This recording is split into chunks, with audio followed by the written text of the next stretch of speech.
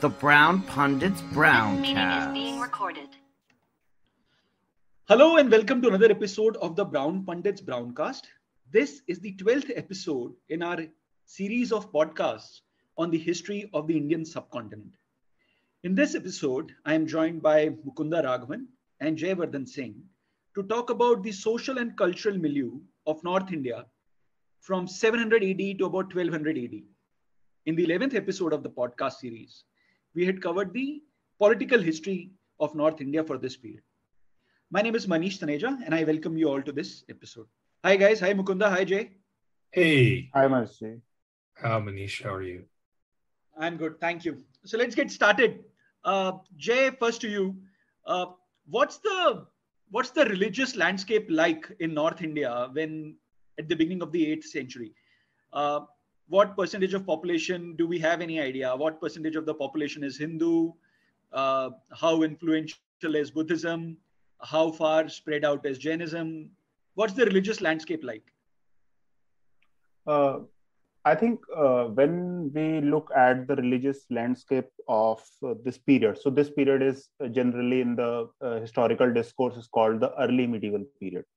So the general picture which we get is a uh, is the picture of decline of Buddhism. So Buddhism earlier, when we uh, look at the period of Gupta period and even in the earlier modern period, Buddhism was uh, one of the popular religions of uh, the the landscape but now what we are seeing that uh, the buddhism as a religion is restricted to some particular regions so for example like uh, if we start with kashmir. So from kashmir was an important center of buddhism. For example uh, there is this uh, uh, we are told that uh, there was once a great council that happened in kashmir.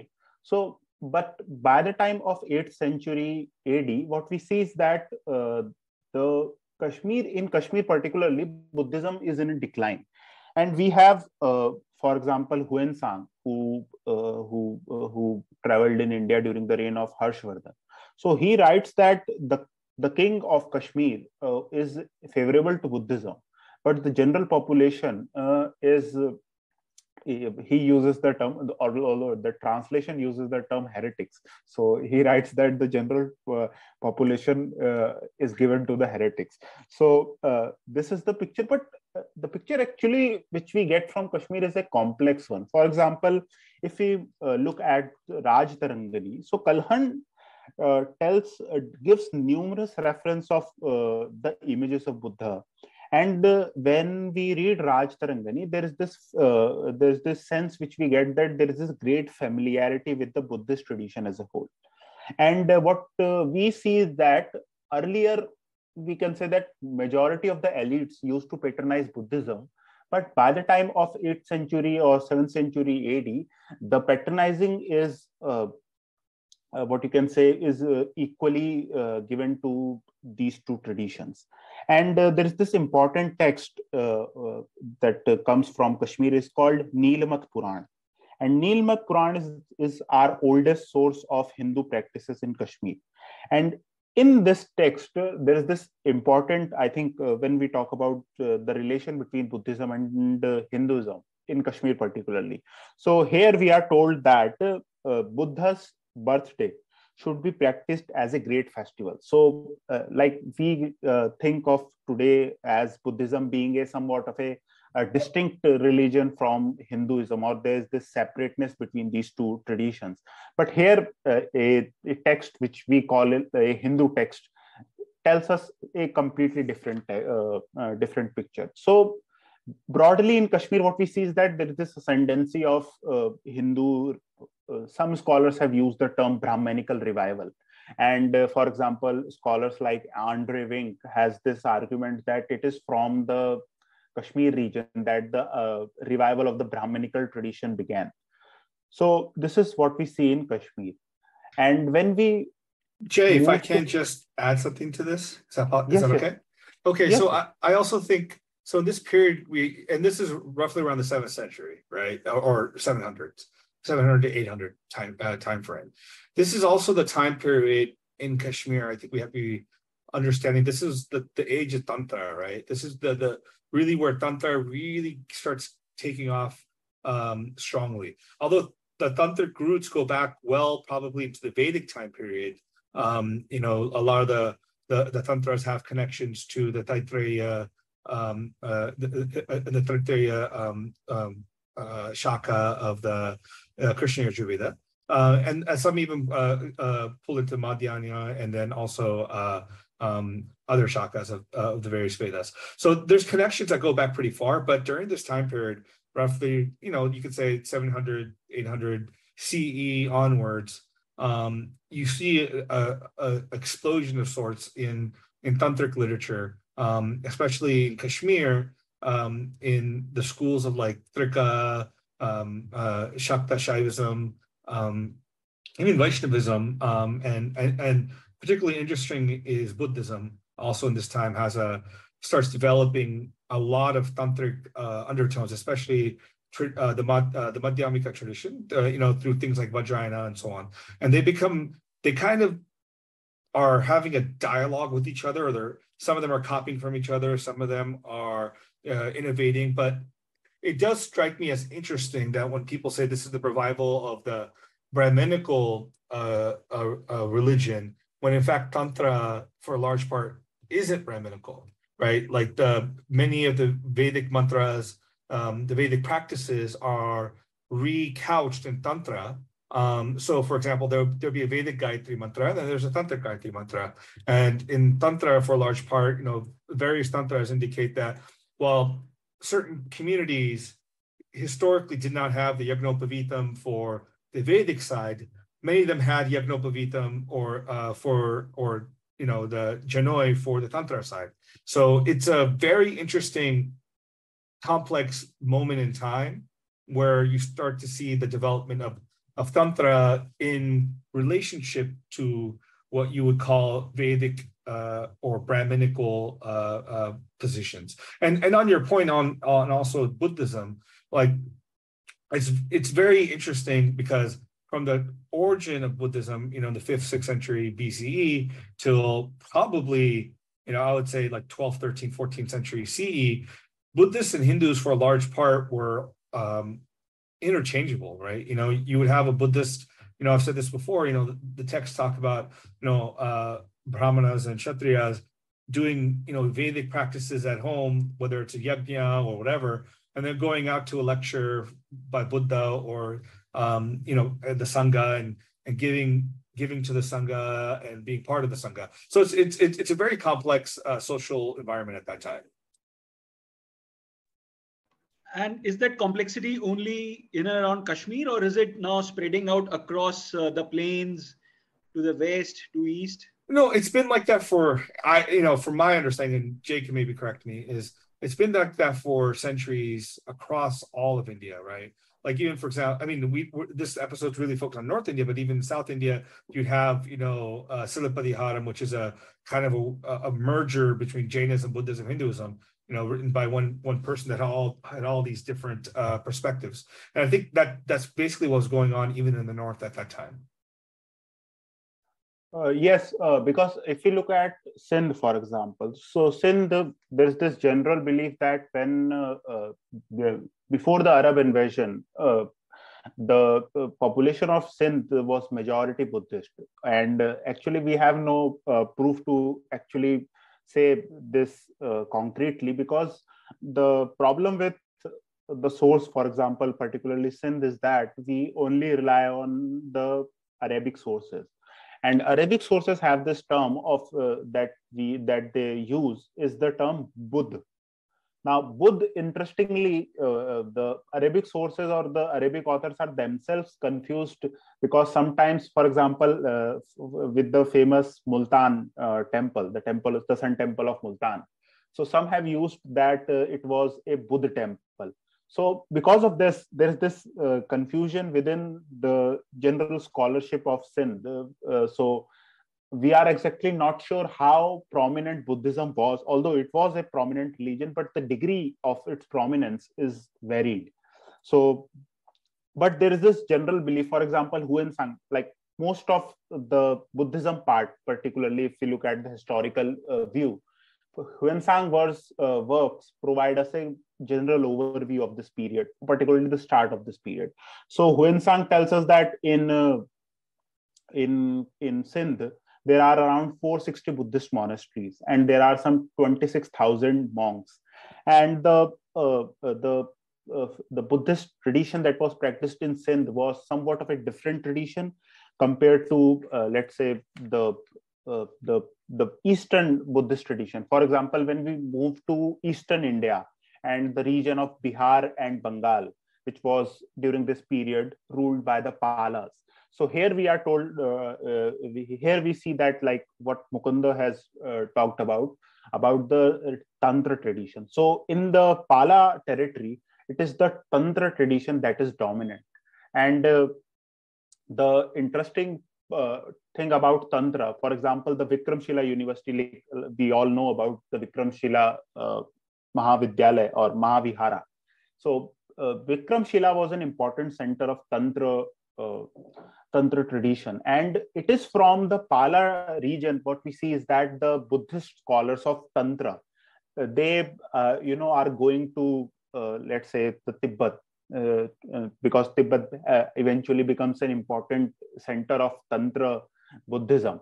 So, Tantra, the spread of Tantra uh, or the popularity of Tantra in in Tibet was mainly due to the Palas. But here again, like what Mukunda talked about, what we see is that although the Palas patronized the Buddhists, but that does not mean that there was no patronization to, let's say, the Puranic or uh, Hindu religion, as a if, if we want to call it.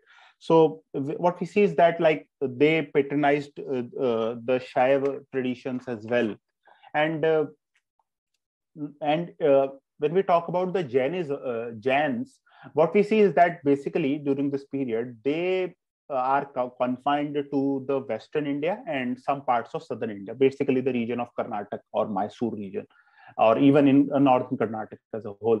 So Jainism, like what we today uh, think of Jainism, strong strongholds of Jainism, or the regions where Jainism is popular. So this uh, this dates back to this period. So I think I will stop now. So what we are saying is that this is a period in which both Buddhism and Buddhism is sort of receding from uh, the plains and north and west of India and East India, and Jainism sort of uh, more centered towards the Deccan and the area which is now northern Karnataka, Maharashtra, and Gujarat, that part of the country, is it?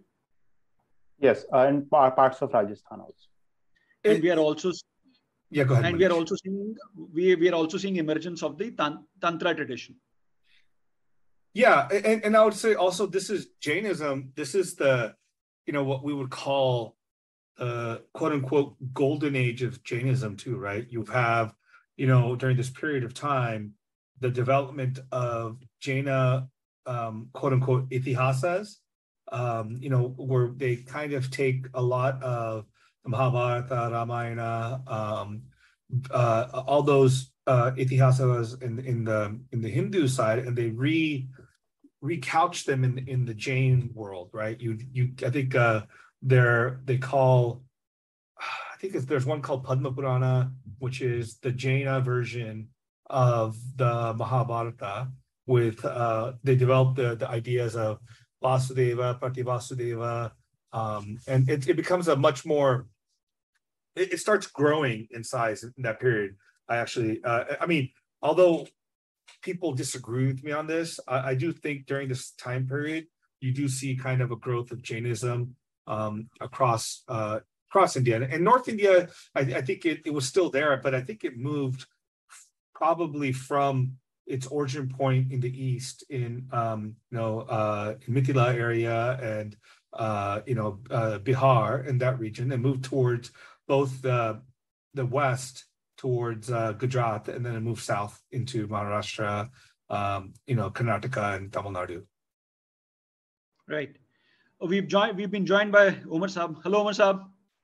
Hi. Can you hear me? Yes, we can hear you. okay. Sorry, I just joined late. Uh, you can go ahead. I'll I'll jump in whenever I can. Uh, right. I just so, joined in, so I'm not sure what you guys have. Pranam, Omar Saab. So long. It's been so long since we spoke. Good to good to hear your voice.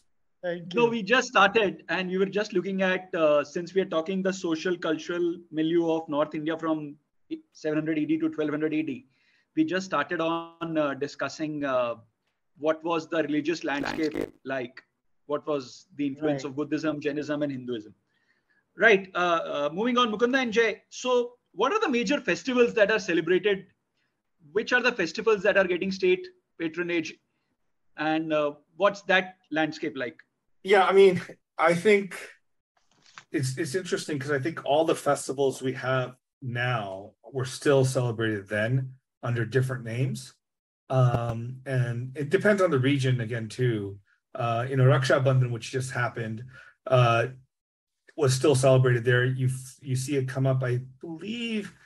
It might be Vishnu Purana, but or maybe I'm wrong. It's maybe not Vishnu Purana. Um, I forget which Purana it is. It comes it comes up in that Purana. And oh, and just on the side note, uh, according to many of the of the current scholars uh, that, that look at the dating of, of text, um, a large corpus of the Puranas at, at this time, in this time period, is when they were finalized at some level to what we have today. So, for example, like Devi Bhagavatam, Skanda Purana, Agni Purana, even though the, uh, Vishnu Purana, even though these texts go back, you know, maybe some of them go back into the first uh, first half of the uh, of the last millennia, the BC period. Um, some maybe even older, but they're formalized in this time period.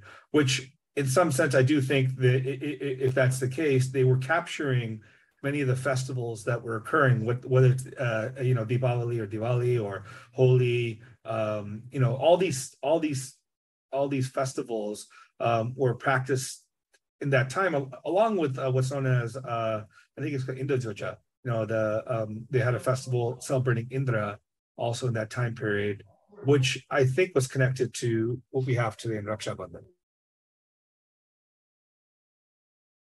Right. Jay, what do we know about this period? Was Holi celebrated? Was it a big festival? What about more prominent festivals and more popular festivals like Deepavali and Dashera?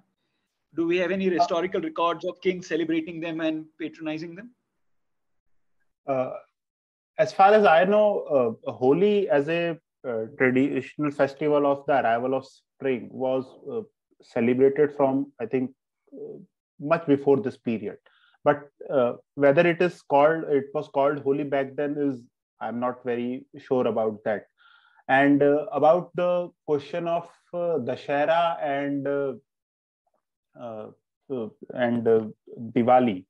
So, although this this most likely will da- dates back to the period of like uh, 14th or uh, 16th century but i do think that uh, some of the festival particularly Dashera for example uh, became associated with a particular let's say uh, varna so and this association mainly happened during this period that's what i believe for example so uh, for Dashera, if we talk about Vijayadashmi as it is called. So Vijayadashmi was generally believed to be associated with the Kshatriya tradition. And there is this uh, even uh, in the later period, for example, the Marathas. The Marathas had this uh, notion of Simollanghan. So during this period, it was believed that the, in Dashera, it was the duty of a particular king to cross his, his territory and uh, uh, begin the period of expedition. So uh, Dashera as a important tradition festival in the Kshatriya tradition, I, I believe that it has roots uh, during this period. So as a so because it is generally it is also the period when in uh, India the campaign season starts. So Dashera was the time when uh, the crops are you know uh, are in plenty so this is the time when uh, army uh, armies used to march so as a tradition of kshatriyas uh, this festival of Dashera i think dates back to this period or even there are there could be the fact that this was a older tradition but i think the prominence of Dashera as a kshatriya festival happened during this period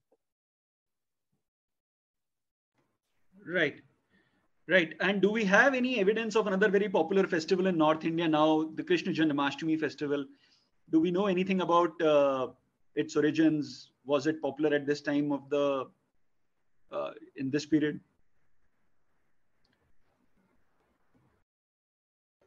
Jay? Uh, I'm not so sure about Krishna I think we've lost Janmashtami. Jay there. Jay, you're there? Am I audible? Yes, you're audible. Do we know anything about the origins of the Krishna Janmashtami festival, one of the more prominent North Indian festivals? Was it popular Uh, in this time? I uh, if uh, I'm not so sure about the if there are any reference to the fact that uh, uh, Krishna Janmashtami being celebrated, although it is generally the region of around uh, Mathura, Mathura was the center of Vaishnavism or Vasudev worship, for example, uh, for let's say the uh, the early modern period. So it it it uh, is generally believed that Janmashtami would have been celebrated during this period because, as Mukunda has just said, that uh, most of the Puranas, uh, because our ritualistic uh, worldview or our ritualistic tradition are basically derived from the Puranas. So most of the Puranas were written during this period. So I think, uh, although I'm not uh, aware of any uh, historical reference of Jan- Janmashtami being celebrated, but uh, the fact that Puranas were compiled during this period suggests that Janmashtami would have been celebrated during this period as an important festival occasion. And uh, the Vajrayan tradition, for example, uh, uh, also has this. uh, there were basically uh, the tradition of Mahabalis. So uh, Taranath, who is a Tibetan scholar who uh, who writes in the 17th century, but he talks about this period also. So he writes that there was this, although it is not related to festivals, but uh, uh, he tells us that there was this Mahabali that happened in Vikramshila, or he he describes it a human sacrifice.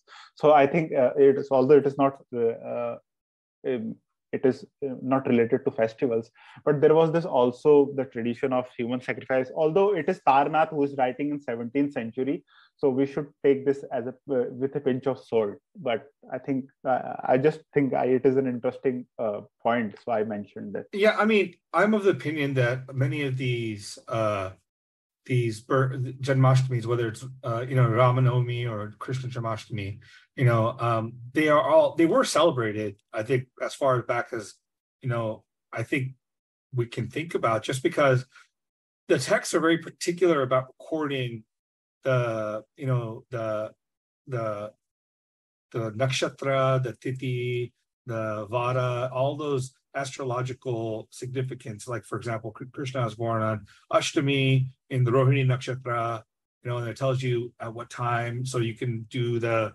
calculations to find out what date is in every year.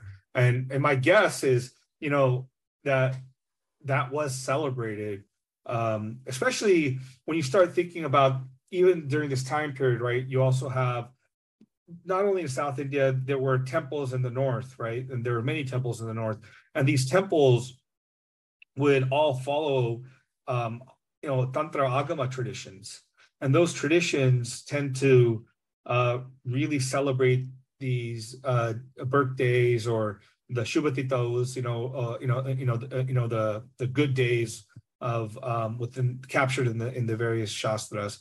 So yeah, I, I would say that in my perspective, um, you know, I can't remember from the top of my head, but I, I imagine if I spend some time in, if I go into the Pancharatra text or something, um, th- there, there should be some uh, mentions of uh, uh, Krishna Janmashtami, especially since the Pancharatra tradition revolves around the the you know the Satvatas or the or the four um, uh, vyuhas, which is Krishna, or Vasudeva, Pradyumna, uh, Aniruddha, Sankarshana.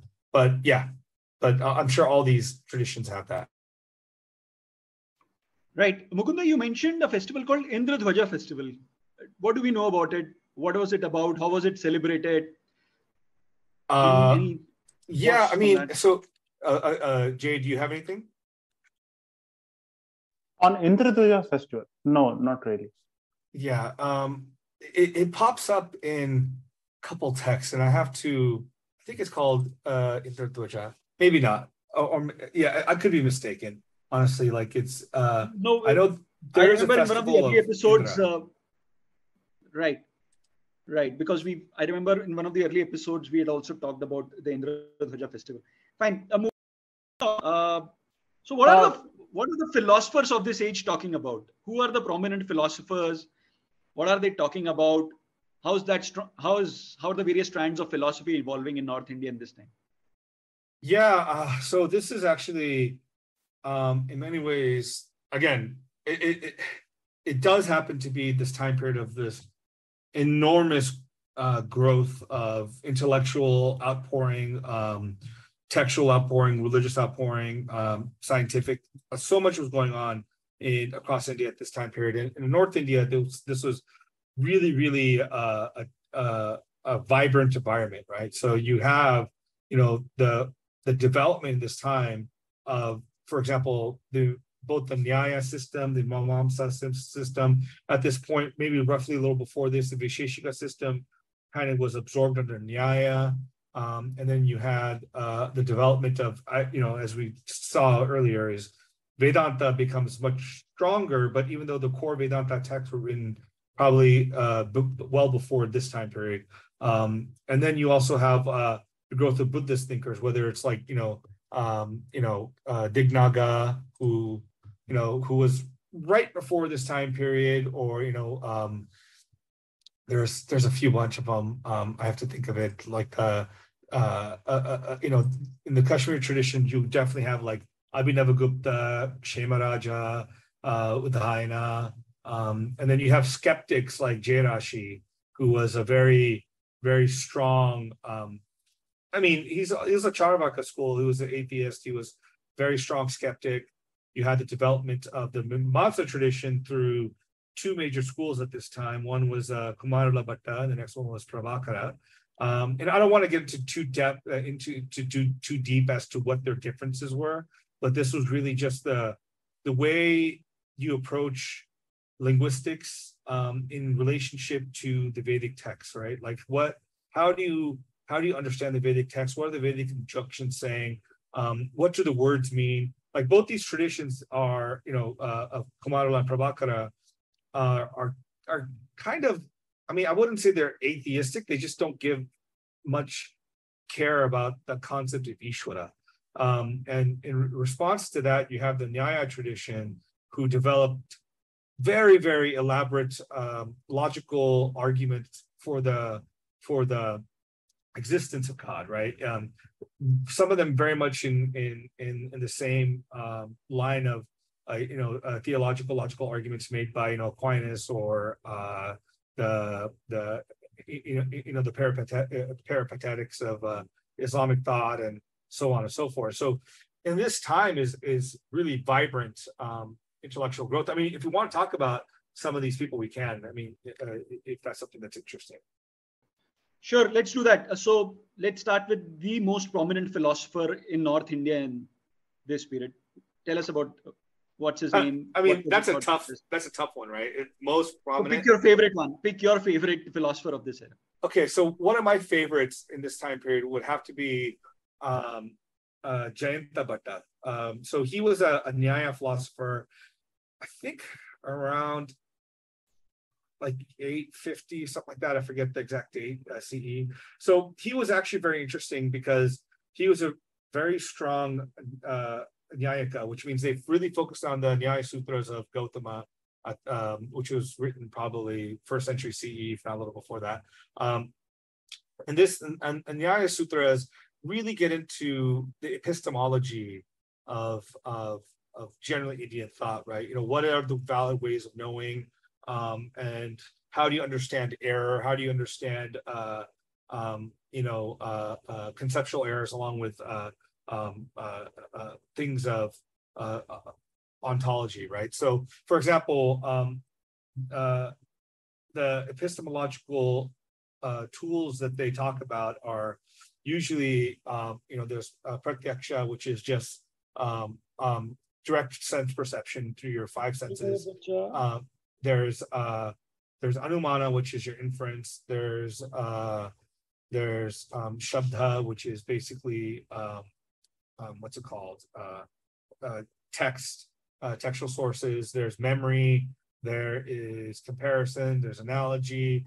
Uh, so there's a, a, bunch of like seven or eight different uh, epi- epistemological, uh, to, uh, you know, uh, uh, methods of knowing.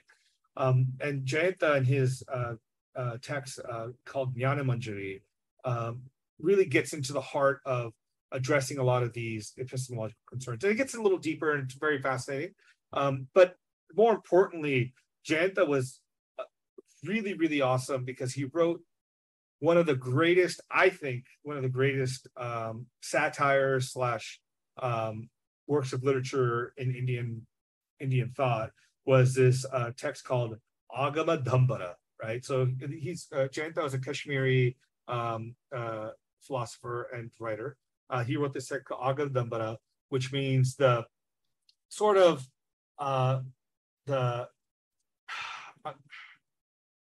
I mean, someone calls it the much ado about religion is how they do it. But agama, you know, is a text, and dambara is kind of like uh, uh, I wouldn't say conflict, but kind of like uh, uh, confusion, right? Uh, so um, this text is really about how each of the schools of Indian thought at that time, which is brilliant, because he does reference various schools that lived around that ninth century CE, and basically how one his uh, main character, I believe his name was uh, Sankarsana, um, is like this Orthodox Vedic student who is totally against Buddhists and Jains and all heterodoxy.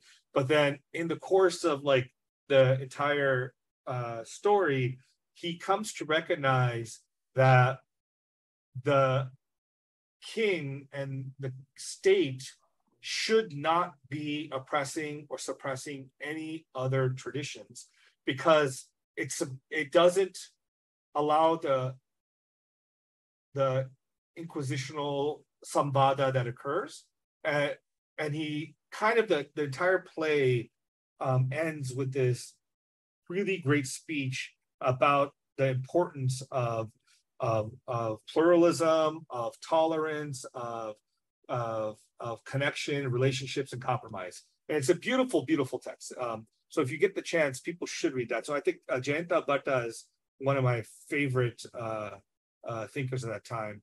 Um, and then and, and, then there's within the Kashmir tradition, there's the the you know the the giant among all giants, Abhinavagupta, right? Who was quite possibly one of the greatest polymaths um, in Indian in the Indian history, right? He he was he was a philosopher. Um, he, you know, he wrote, uh, you know, the in, in, in the Shiva Sutras, um, and he had, uh, um, let's see, uh, what let me think about this for a sec. He also wrote amazing commentary on uh, of Natya Shastra, right? So it's called Abhinava Bharati.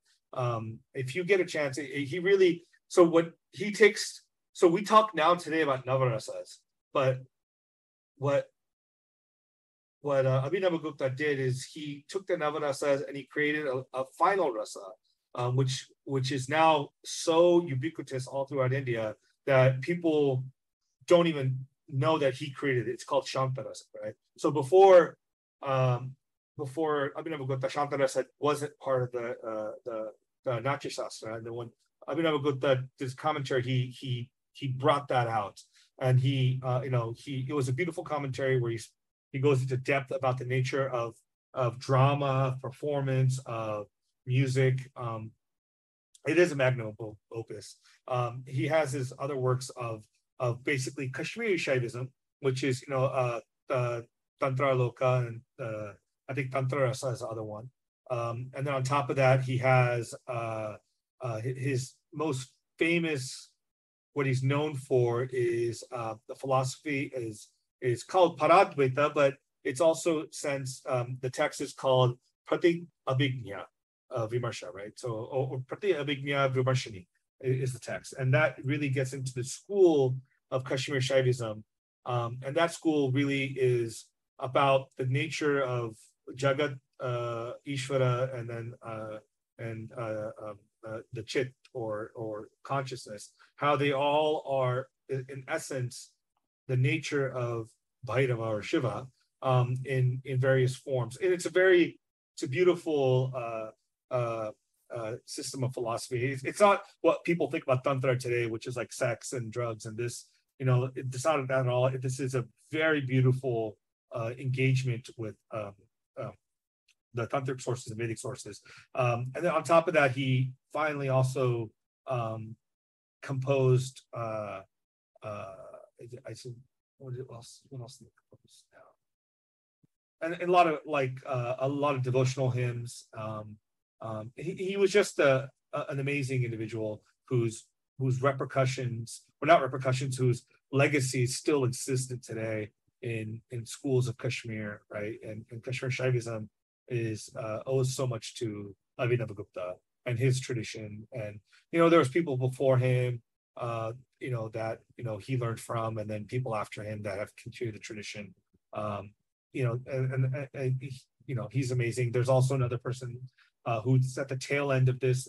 A lot of this actually is very interesting. Is a, a, a lot of Kashmiris uh, or, or Kashmiri individuals. There's also, you know, uh, Kshemendra, uh, who is a, a satirist, and um, he writes brilliant, brilliant uh, uh, satires in uh, basically just attacking. He just attacks everyone around him in in, in, in an amazing way. Um, and uh, I have to. I can go look up his uh, his text that he's written. Uh, Brihat Katha Manjari.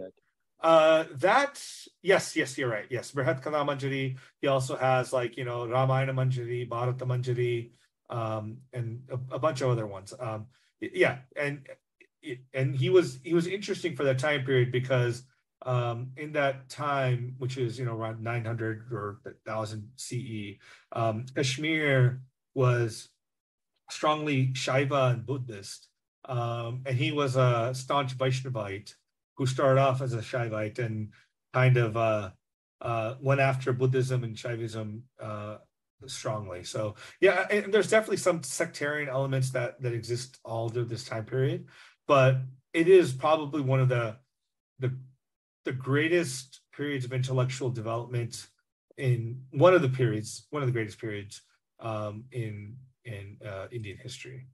And those are just a couple of the uh, uh, of the individuals that I bring up. And you could also we could also talk about like Bhaskara um, or uh, you know there's Vedanta schools that come up there. Uh, in the Buddhist, you know, uh, Alanka or um, you know, uh, you know, this is all we have to remember. This is the period of time where where um, the the Chinese were coming to India and they were gathering so much information uh, about Buddhism and taking it back. And, and Indians from India, including Kashmir and other places, were traveling to China to give information, to give knowledge and um, and and and and the, and the logic of Buddhist thought, and some of that they brought in, uh, you know, Hindu thought with there, right? Um, yeah, and, and, if people are very interested, uh, I, I, mentioned I mentioned earlier um, this uh, skeptic by the name uh, Jayarashi Bhatta, um, who was uh, who basically went after every single uh, existent school at that time, um, whether it's Buddhist, Jain, Hindu, uh, Nyaya, Vaisheshika, everything. And he wrote this text called uh, um, Tattva, uh, Tattva Papa Papalava Simha, Tattva Papala Simha. And it's um, it's basically it, it, I mean, the meaning is great. It, it, it, means the, the, the lion who roars at all the philosophies and uproots all the philosophies. Yeah. So it's, uh, right. it's a text that people should read. Right. So what we'll do is as part of episode notes, we'll give links to all these texts and um, hopefully listeners and anybody who finds it interesting can read a little more and leave comments. And then Mukunda, you should engage with those comments. Oh yeah, I mean, if you if people want to message me on on uh, what's it called Twitter about it, I'll definitely respond. We'll do that. We'll do that. Jay, uh, what have you read about the philosopher, those philosophers of this age, and uh, your thoughts? Uh, I think one scholar which I would like to talk about is a Jain scholar who comes from Gujarat. Uh, so he belongs to Hemachandra. Uh, yes, uh, Hemachandra Suri. Yes, yes, Mukunda. so Hemchandra uh, Suri, I think he is one of the brilliant uh, scholars or philosophers, uh, saints of Jaina tradition who uh, who uh, who has you know uh, ever existed because uh, there's this interesting title which he is known he is known also as a as Kalikala Sarvagnya, meaning the knower of all knowledge in his times. So he produced works on history, on religion, on Sanskrit grammar, on lexicon. And uh, there is this interesting story that, uh, not story, there is also some uh, historical truth to this story that uh, he, uh, he, you know, uh, brought the Chalukya ruler Kumarpal to the Jain fold. So earlier he, this Kumarpal was a Shaiv ruler, but later under the influence of Hemchandra, he became a Jain. So Hemchandra Suri is one of the most important uh, Jain uh, saints that ever existed. And another point about Kashmir is that Kashmir also, interestingly, during this period becomes a center of historical scholarship, so to say. For example, you know, the work uh, Mahakavya tradition particularly finds uh, a strong root in Kashmir. So we have works like uh, Vikram, uh, Vikramanka Dev Charita and Rajatarangini is, uh, is the most famous text, but there are also Prithviraj Vijay. So the authors of these texts were Kashmiri uh, Brahmins. So interestingly, uh, there is this interesting thing that is going on in Kashmir, where we find that historical Mahaka- uh, Mahakavyas as a tradition is, you know, uh, Kashmir became an important center. And broadly, we when we talk about the Mahakavya, particularly historical Mahakavyas, it is during this period we have multiple examples of historical Mahakavyas being authored. So the start, which we can say happened with Bana's Harsh Charitra. And after that, we have Navasa, Navsaha Sank Charitra and Vikram, uh, Vikramank Dev Charitra then we have Rajatarangini. Then the famous Prithviraj Vijay, which uh, which is not a complete text about uh, Prithviraj Chauhan. And then uh, there are other important texts. So uh, historically, the Mahakavya tradition also has roots during this period. Right, right. Uh, uh, this was wonderful. Moving on, what is the role of temples in the society? Mukunda, uh, would you like to take that? Or Jay, what role do the uh, temples play in the society in terms of uh, social cohesion, in terms of expression of political power, in terms of religiosity? What roles do the temples play in North India in this time? I think this is the period where we see that you know massive temple building exercises were carried out throughout India, not just northern India, but also in uh, in southern India as well and uh, there are multiple uh, functions if we have to call it that that uh, temples uh, you know became an important center of uh, religious life of a particular city let's say. Then what other important thing that happened is that there is this uh, which some scholars have called the puranic the spread of puranic hinduism throughout India, or let's say if we are talking about northern India particularly. So there are uh, what happened is that uh, with the construction of a particular temple, the local uh, or folk uh, deities of a particular region is assimilated into the broader Puranic uh, uh, Puranic fold.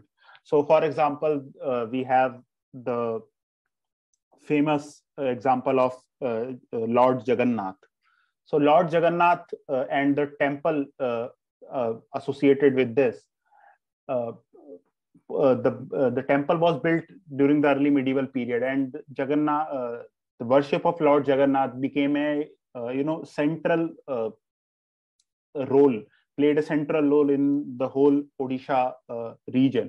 So what we are seeing here is that the local tradition is is getting merged into a broader let's say a pan-indian uh, puranic tradition. So this uh, this merger and how this merger happened was mainly through uh, temples. And another important point about the temples is that the temples also became a center for, let's say, the the royal uh, uh, a, a, sort of a legitimacy. For example, the uh, famous temples at Khajuraho were an important were important temples in terms of they portrayed the magnificence of the Chandela rulers. So in that way, we can also see that you know the importance of temple building exercises that were carried out throughout India by different rulers.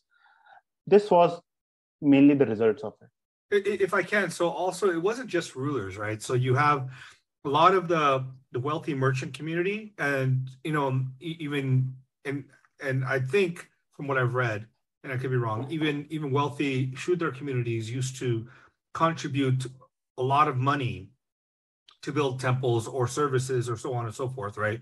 Um, because at this time, what you started having is there was a, a, quite a bit of wealth generation going on um, in, in, in India at this time, um, and you you also see that some of this is is captured in the Dharma Shastra literature that was also being finalized in this time period, right? So the Dharma Shastra literature talks heavily about about things like you know the the merchant guilds that uh, that were existent and and how business practices should be conducted in that time, and also the, the relationship um, to to the temples. Um, and like I said earlier, the Agamic literature um, was really being refined and finalized in this time period. So the the manuals on temple construction and um, the uh, you know prana pratishtha, the murti and festivals and the the you know the way the temples were run was all presented within these texts, whether it's going to be like you know um, Padma Samhita or or or Samhita or a bunch of other you know Pancharatra texts that I look. I know the Pancharatra. I don't know so much about the the non Pancharatra stuff. So, but yes, uh, it, it, this time period you you see this huge development of the temple um, practices, and this comes from the tantric view that the Vedic yajna um, is going to be uh, emulated or uh, refashioned in the temple. So then it becomes this experience between uh, the the temple deity and the the the the worshiper coming and kind of building this relational ecosystem that was very similar to how the Vedic yajnas used to be done. Right. Uh, right. I think uh, I will add uh, one important point uh, about temple particularly. So uh, what we see is that temple also became a uh, the term which is used by some scholars, which could sound a not politically correct, but detribalization is the term which is used. But that particularly we are talking about the the region of let's say Eastern Bengal. So here, you know, the the tribal practices are going on. So what we see here is that the rulers of this region are uh, so we have uh, you know uh, grants from uh, from this period. So let's say the eighth, uh, tenth or twelfth century AD. So what we see is that the ruler of this region, so Comilla, Sylhet, eastern uh, eastern Bangladesh. So this region, the ruler is a Buddhist and he describes himself uh, as a Buddhist. But what we see is that he is giving grants to Brahmanas to settle in this region, and uh, uh, he is also building a temple. So this interesting uh, that uh, you know relation between these two traditions and how temple construction and the migration of brahmanas to a particular region. So this is also the period of we have already talked about in the earlier podcast uh, about the migration of brahmanas. So temple building uh, coupled with the migration of brahmanas also uh, uh, uh, played an important role in the if we call it detribalization of certain regions. And uh, this uh, like if we compare it to let's say uh, uh, the example would be to compare it to the satvahana period. So in the satvahana period what we see is that the uh, satvahana king, kings describe themselves as uh, as ek brahmana uh, unique brahmana. But what what we seeing what we see there is that to for for the detribalization it is the uh, Buddhist uh, like viharas that are being set up. But by this time, the situation is completely reversed. So the ruler is a uh, proclaims himself as a great Buddhist patron or great Buddhist wor- uh, worshipper, but uh, the but the uh, uh, but for detribalization or uh, the it is the temples that are being constructed, not the viharas. So I think there is an important point which I wanted. Right, right. What about art forms, uh, performing arts, painting, sculptures? Is there anything that sort of what kind of evolution these uh, art forms saw and what is it that we know this era for in terms of sculptures in terms of yeah art, i mean painting?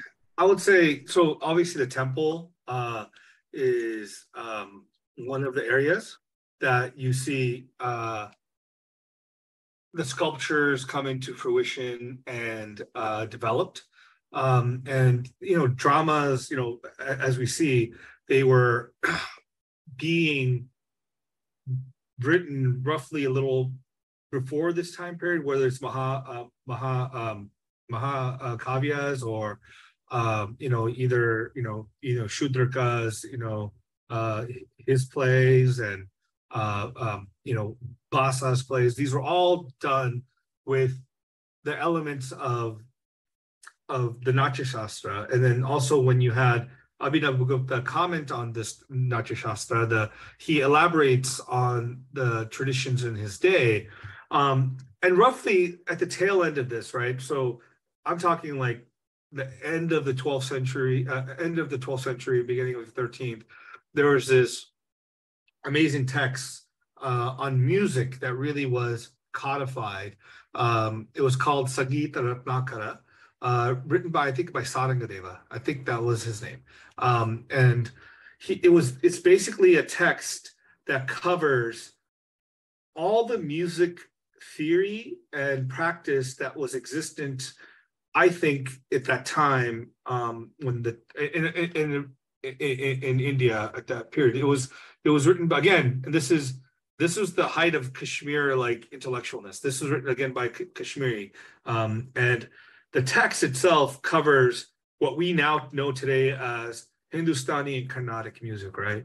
So this period of time, they have, he talks about ragas, talas, um, musical structures and techniques, um, you know, um, things like swaras, brigas, shrutis, um, and and different styles of, of of of music, right? In in terms of you know uh, some senses like this is where you start getting like you know uh, padams and uh, what we know today as padam or javalis that started their their origin here. Like the Carnatic musics today, which is much more kriti based, is what it wasn't necessarily what they were talking about back then, right? So the the music from back then is um, is is different, but it's or but it, it's connected to the music today. Like there's been a development. Um, so the idea was the person who composed whatever music or whatever it was was also required in, the, in that time, uh, according to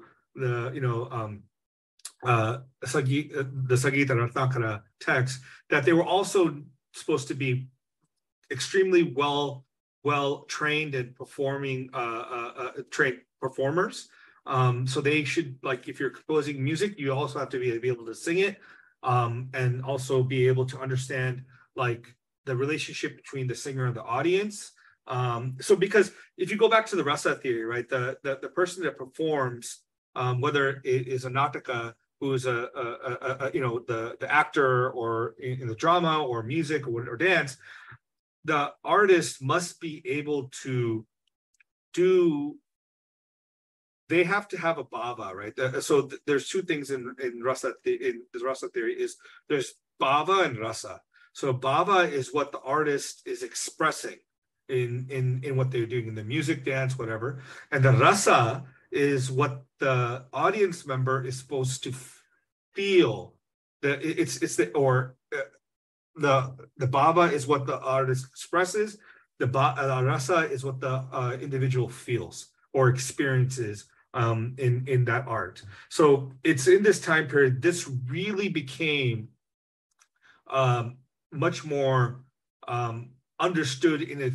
At least music did as a theoretical framework, um, because uh, Natya Shastra itself wasn't really focused on music. It was focused really on the the natya or the the drama itself.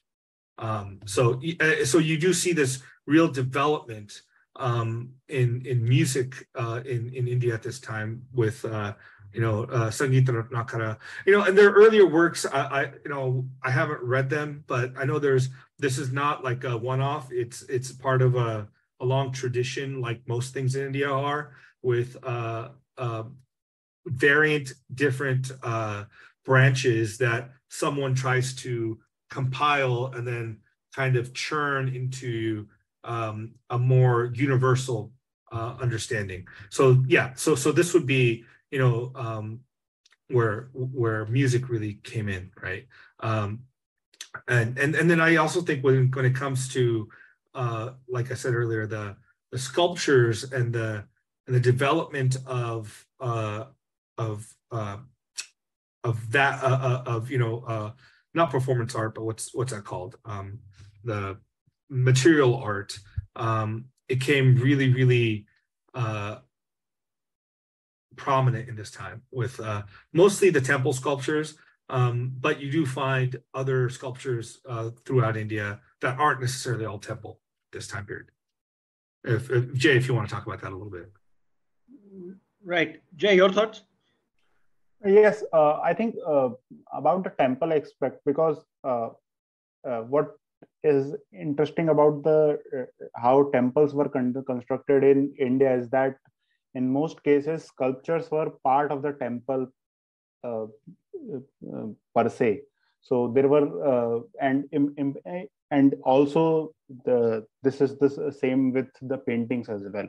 Like most of the paintings that were done in temple courtyards, let's say, does not survive. So, uh, so we have some earlier reference from, let's say, in, in southern India, but uh, in when we talk about uh, northern India, there are no uh, temple paintings that survive.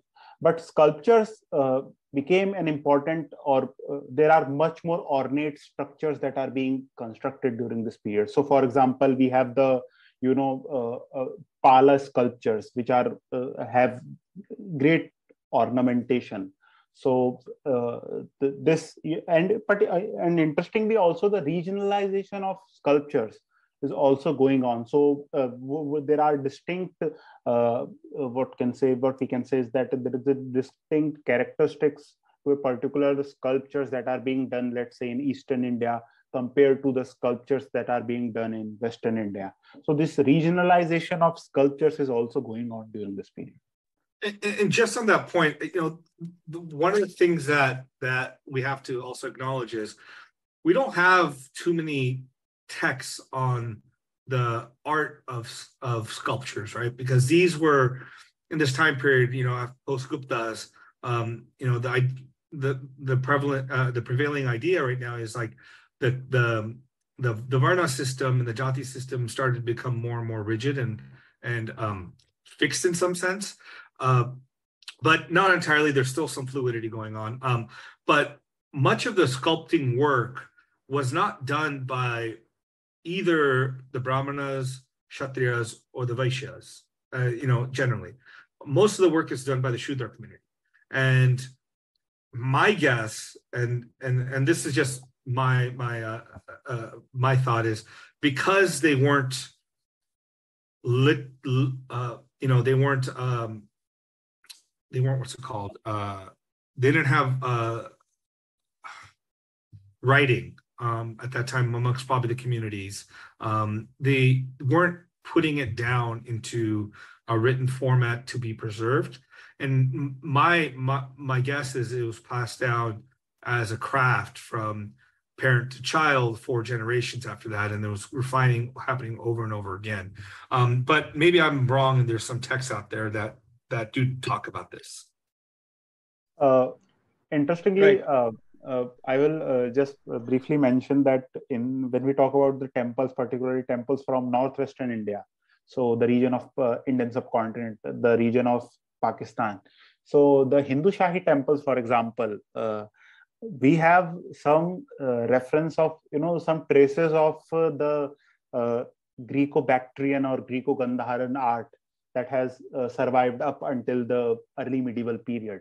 So, uh, so this is an in- interesting aspect, and also the uh, different Hindu rulers of Kashmir and the temples they were constructing was a you know it also has elements from let's say the Byzantine element to uh, to to the uh, also Indian element. So this is also an inter- interesting aspect that some of the traces of uh, Greco-Bactrian or Greco-Gandharan art has survived up until this period. And this, I think, is mainly because of, as Mukunda has just said, that most of the uh, artist, uh, the art is transferred uh, from one generation to another in terms of craft there are no manuals so to say i mean there uh, just to correct myself there are shilpa shastras but i haven't read them and i don't know how how detailed they are um, so i you know i can't really speak about it but there are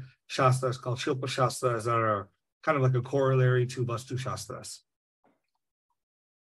no i would right. I, I would say that uh, shastras as a general text are there but uh, uh, like Mukunda, if you if you want to correct me, you can. Uh, are there regionally specific uh, Shilp Shastra test, for example? Are there any? I'm not sure about. I mean, I, I don't want to speculate. I, I I would I would say maybe, um, but you know, some of this is is kind of um, referred to in like the Agamic literature again especially when it comes to install installing and and and crafting um, the the the murti or Devata. So I'm not sure, but if I had to make a guess, I would say I'm sure there are some local texts on this. I just don't know. I think we'll leave it to that. Uh, moving on, now this is also a time when the early Islamic influence is not, Islam's well and truly there in the subcontinent now. So, what is the interaction of these uh, multiple philosophical strands and the way the state is looking at religion, the state is looking at patronizing art and philosophy to the early Islamic influence? Saab, your thoughts also on this, if you've read anything as to how the early Islamic influence merged and clashed with what was there? I had more of a question than an answer uh, for uh, our, you know, our erudite people, Mukunda and Jay. Uh, when you, when I know, what, all I know about this period is what some of the Islamic writers wrote about India, right? I read Al Biruni's book, translation, of course, and other people, uh, historians who have written about this period from the Delhi Sultanate. But I've never read Indian accounts of the Turco, you know, the Turkic colonization of India, uh, the early Turkic colonization what is the Indian response? Uh, uh, that, that actually I wanted to throw in this question in addition to what Maneesh asked. Uh, is there a specifically an example of an Indian writer writing about the arrival of the Turkic colonizers? What was their response? Jay, go, you go ahead.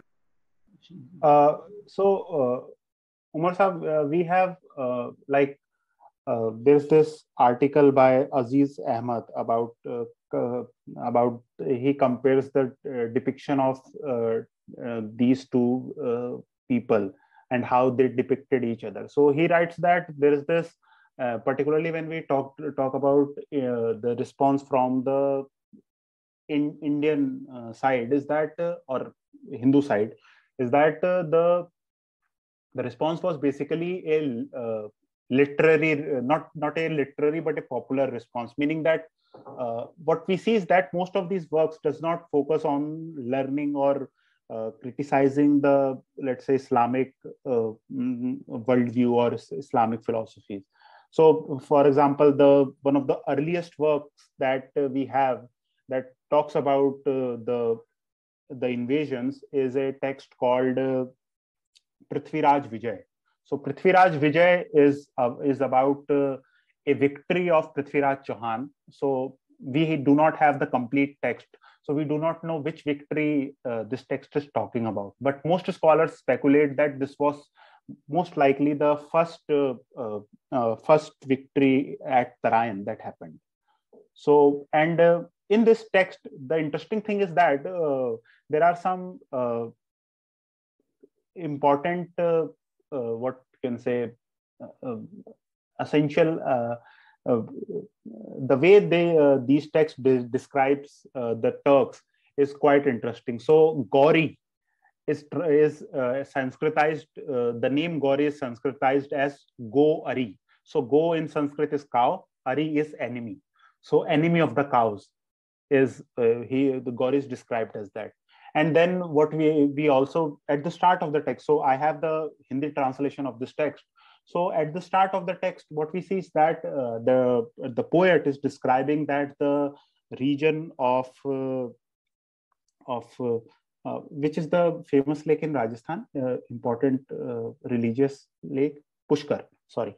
Yeah, Pushkar. So, it's a lake to Brahma. Yes. Uh, so Pushkar, we are told that uh, the Malicha army. So Malich is the term which is used for uh, not. there are also other terms, but here it is the term malich which is you uh, which is being, being used so what uh, uh, what the poet is telling us is that the malichas are uh, you know polluting the sacred pond of pushkar and they are defiling it by bathing in it so and the, then the, uh, this, the text also describes a uh, the messenger of or, um, or the messenger from Gauri that has uh, arrived in the court of Prithviraj uh, Chauhan.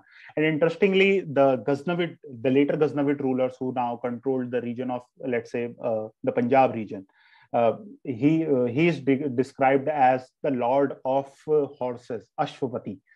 So there are in, interesting way these uh, Muslim or the Turks are described. And then we have also inscriptions from the 7th and 8th century. So this is uh, the period when uh, the Arabs were invading. And here what we see is that most of the time the term Tajik is used uh, for the uh, for the Arabs. Uh, so I think this is the important points.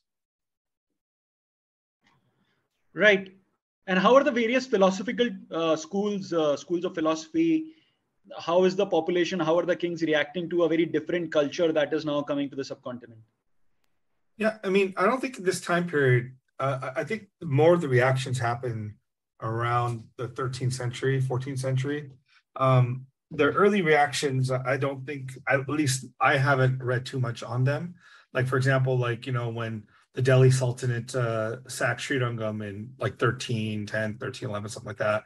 Um, there's there's incidences uh, that you know is captured within um, a particular religion. Uh, no, the religious tradition I belong to, the Sri Vaishnavites. We we have that information or that that event captured in our stories and in our um, uh, you know hagiographies of you know the the great people within the tradition. Now I imagine the same things happen up in the north with uh, uh you know hagiographies of you know um, the the various uh, religious leaders or rulers at that time. But I just don't know much about it. Uh, I don't think there was much until probably the 13th or end of the 12th century. Right. Anything you've read, Omar Saab? On the early interaction between, uh, and especially since Mukunda has been, and we've been talking about the influence of uh, Kashmir on the overall uh, philosophy and uh, religious yeah, no, modes of the subcontinent this time. No, I have the very typical sort of uh, uninformed response to this that I have only read what is from the Muslim side of it. Uh, you know, the, those people were writing books those books have been preserved. Those books are very famous, Al-Biruni, Farishta, whatever. Uh, but we don't have equally famous, at least, accounts from the Indian side.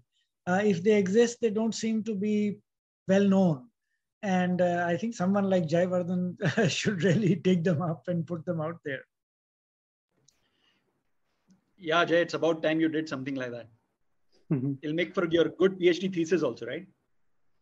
Uh, yes. Uh, I think uh, uh, uh, when we talk about the i mean rajatarangini does refer to it um, but uh, the initial yes. muslim in, uh, influence uh, yes. but i haven't read rajatarangini so i don't i don't have much to add uh, yes uh, in rajatarangini there's this term which is used as mausal so mausal most likely is the term for musalman and uh, there are some interesting points that are uh, ascribed to uh, these mausalas so we are told that they are beef eaters.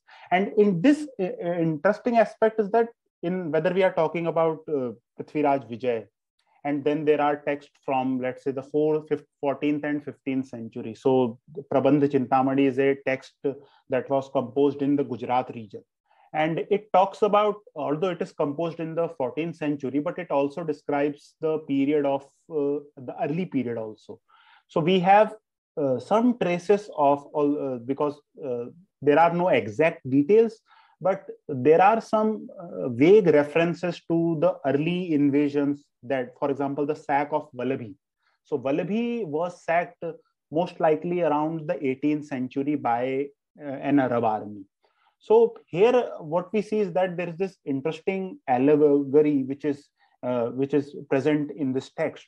So what we are told that when the Malecha army has surrounded the city of Vallabhi, so what happens now is that most of the idols of the temple, what they of the different temples of the city of Vallabhi, what they do is that they start flying to different regions and uh, the uh, the the the patron deity of the city of Vallabhi, we are told is crying, and uh, he is uh, he is telling us uh, telling the one of his listeners is that uh, one of her listeners is that the the waters will now turn blood, turn into blood. So this is an interesting allegory that is that is present in Prabandha Chintamani. But the aspect of beef eating particularly is common to let's say uh, like the, the three or four uh, in, uh, text which i have referred up until now these are common. And then also the desecration or destruction of temple aspect that is present throughout the uh, these uh, three or four texts. So in these two ways uh, we can say that uh, there is this association with the turks or the arabs. But this is not to say that there was no there was there was not a complex relationship because what we find is that we have reference that a a most likely an Arab was uh, was given the uh, uh, given a particular province to rule by the Rashtrakuta ruler. So uh, the situation is, is is not as straightforward as we would like it to be. So this point. Sure. Sort of to wrap up the episode, uh, what is the legacy of this age? What are some of the philosophical schools, religious practices, art forms, cultural motives that survive till this age? Uh, Mukunda, would you like to take that first? Okay, can you ask that again? Sorry. No, I was asking uh, what are some of the what is the legacy of this age? What are some of the philosophical schools, cultural yeah, traditions? I mean, we touched upon that earlier, but all these schools, whether you talk about Mimamsa or Nyaya, um, and you know to a lesser extent like Samkhya in this time period, um, eventually curtailed into uh, Vedanta, right? So a lot of the um, the like for works like like Kumarila Bhatta or Bhaskara or I mean Prabhakara uh, or Jayanta Bhatta or all these people during this time period, their works started to be used, like their ideas were used in say uh, Shankara's Bhashya you know, he was writing in response partially to Kumarila, uh, uh, uh, uh, you know, you know, Kumarila, and then yeah, Ramanuja, who who adopted quite a bit of Prabhakara's uh, Mimamsa theory or responded to you know various Nyaya theories. You know, Vedanta has a different perspective on, for example, Nyaya um, thinks that logic is a method to prove God, um, whereas the Vedantins do not. Uh, they only accept, for example, Shabda Pramana or the legitimacy of texts of the Shastras to tell you the nature of God, where Nyaya doesn't take that perspective. Um, and so a lot of these different schools started their legacies kind of got curtailed and brought into the Vedanta tradition. And then um, stemming from this time period, I think this is when you also start seeing um, and I, and, my and my guess is it, it, was also during this time period, like I said earlier, there was some ossification and um, uh, stages of oppression with with the Varna Jati system that the Bhakti the, the Bhakti movement was started roughly at the tail end of this um, started to change, right? Like if you look at, I know, I know this is more North India, but for example, the Bhakti movement in South India started roughly around, you know, we can say seventh to eighth century CE um, with the Alvars and uh, Nayanars. Um, and in the North, you had similar movements um, that started to happen with the Nath Sampradaya. Um, and then you had, you know, from the Nath Sampradaya, in the 16th century or 15th century, you had people like Jnaneshwar uh, who came about. So, um, and then from, you know, like from the South came up, you know, uh, uh, roughly at the tail end of this period again, the, the Ramananda uh, Sampradaya, which, you know, uh, claims its origin from Ramanuja Sampradaya. The Ramananda Sampradaya started uh, influencing people like Eknath, Mirabai. Uh, so you had this really big uh, development that connects from uh, the north to south and back to the north. Um, and I think this is a really is very fertile time period in the North Indian and generally Indian landscape.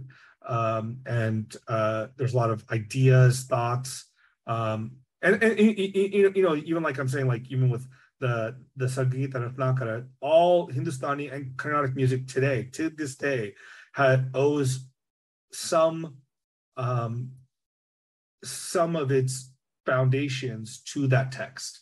So it, it's I just I, I don't think this period of time in Indian history can be uh, overstated in, in, intellectual development, and I'm not even talking about things like you know uh, you know uh, uh after you know Aryabhatta you had you know Varar, you know Varahamihira and the science. And so I don't know much about the science stuff, but I know that there was science done because we had you know the you know the the iron pillar in Delhi you know was created roughly at the the the early period in this in this age right? We're talking about where they had the the skills and knowledge of um, you know metallurgy to create a pillar that basically wouldn't rust um, for you know thousand plus years.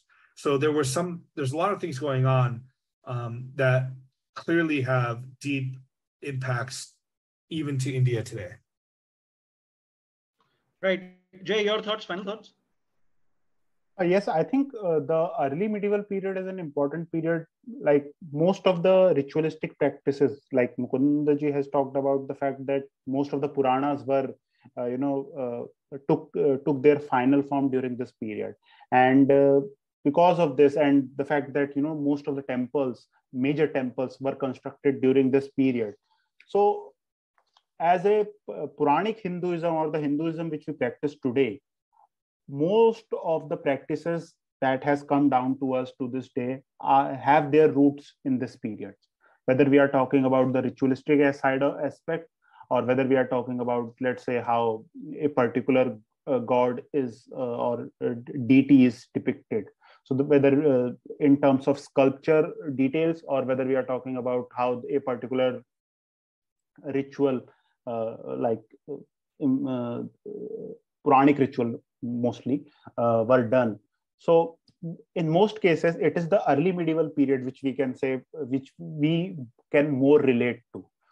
Because the uh, the traditions or the practices that had uh, that had roots in the let's say the gupta period they matured in this period in the early medieval period. And uh, it would be it, it, it would not be wrong to say that after the early medieval period so the early in the medieval period particularly there is not much evolution that happened strictly if we if we are talking about the northern india especially.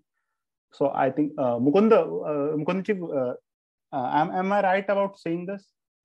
Um saying can you rephrase it so i understand like, it uh, the evolution of let's say the practice puranic or hindu practices particularly in northern india there is not much evolution which we see uh, from the medieval period to the modern period no i mean there definitely is there's uh, there's a lot there's a lot because a lot happens from you know the time of say 1300s to to modern times, right? So in this time period is when, like for example, Vaishnavism is practiced across all of India today.